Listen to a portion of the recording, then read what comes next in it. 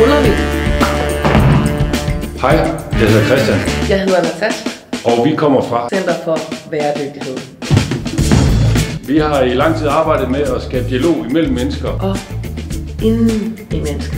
Til det bruger vi nogle forskellige spørgsmål. Bæredygtighedsspørgsmål. Et par eksempler kunne være. Tager du ofte fejl? Har du en fri vilje? Er du bevidst om dine fordomme? Kan du lide forandring? Nu har vi så lavet et nyt spil. Det hedder Bæredygtighed og verdensmål.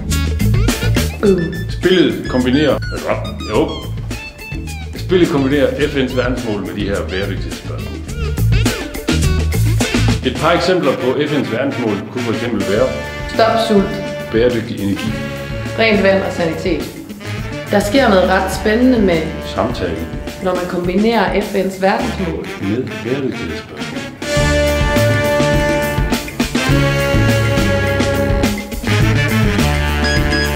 Hvad sker der i din hjerne, når man kombinerer verdensmålet klimaindsats med spørgsmålet, har du tilgivet dig selv? Kvalitetsuddannelse. Giver vi de rigtige ting værdi? Mindre ulighed, føler du dig ligeværdig med andre? Ved du, hvad du spiser?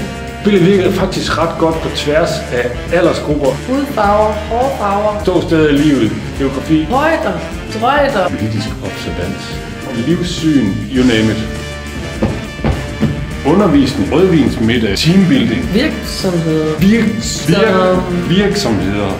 Man kan spille det for evigt, mange gange for evigt. Man kan spille det mange gange for evigt. Det er nyt hver gang. Det kan det være. Prøv at gøre det nyt hver gang. Vi træner din associationsevne. Så får man mange nye idéer, men pas på. Bevidsthedsudvidelse kan forekomme.